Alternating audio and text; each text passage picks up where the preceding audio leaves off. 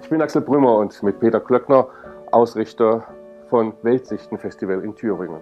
Vor 23 Jahren haben wir es als Thüringer Dia Festival gegründet, um Kulturen und die Schönheit der Welt in unsere Region zu bringen, um Menschen dafür zu begeistern.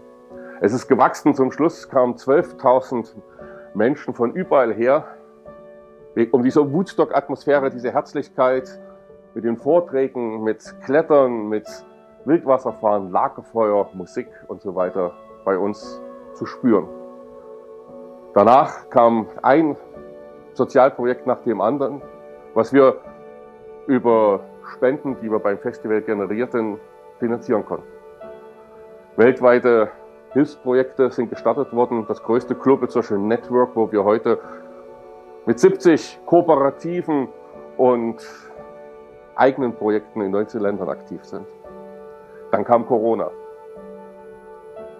Ich möchte das Festival trotzdem durchführen, weil es ist wichtig. Es ist wichtig für uns, weil immer wieder verschieben, verschieben, da kriegst du einen Debris. Es ist wichtig für die Zuschauer, mal wieder ein bisschen so einen Hoffnungsschimmer zu haben. Für die Stände, denen wir dieses Jahr keine Gebühren, Standgebühren abnehmen, damit sie wieder Mut fassen, das zu machen, was sie früher gerne gemacht haben, ihre Töpfer waren, ihre Currysuppe und, und, und. Und auch für die, für die Referenten, die teilweise seit 14 Monaten kein Honorar mehr bekommen haben. Wir werden freilich uns an das Hygienekonzept halten, was es heißt, dass wir auf 20 Prozent der Zuschauer runtergehen müssen.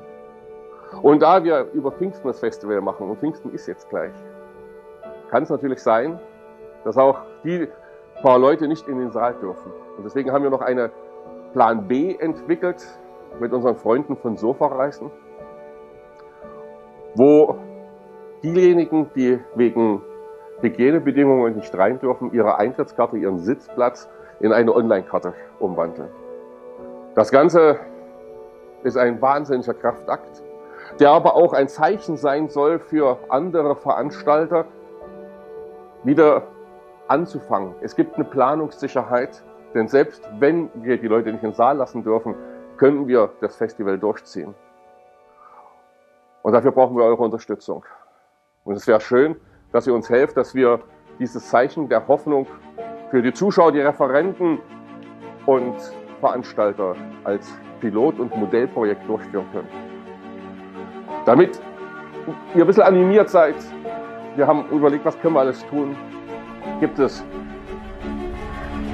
Bücher, Tassen vom Weltsichtenfestival bis hin zu Exklusivvorträgen. Ich hoffe, dass wir die eine oder andere Firma oder den einen oder anderen ansprechen.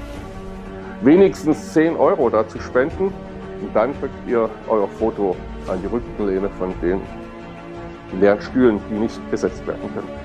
Sodass der Referent nicht gänzlich in den leeren Saal guckt, sondern eben wenigstens in eure hoffentlich freudigen Lachengesichter.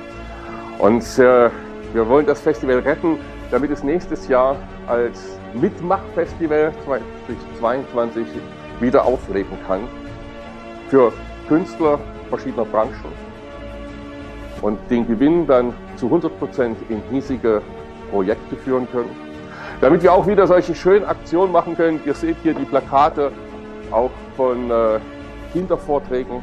Es waren 1600 Kinder da, die gebannt den Erzählungen von Thomas Bambato über die Bären oder von Kai-Uwe Küchler über Tiere Afrikas gelauscht haben, mitgegangen sind. Und das finde ich sehr wichtig, dass wir sowas erhalten können. Bitte helft uns.